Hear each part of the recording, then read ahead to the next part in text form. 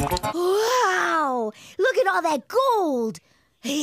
we'll be rich now!